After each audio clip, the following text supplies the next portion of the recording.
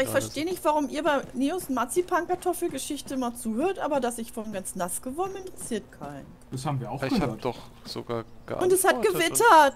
ja. Das war ganz unheimlich. Und dann haben wir noch drüber geredet, dass es hier... Und ich habe Hagelkörner eingeatmet und musste husten. Das. Ah!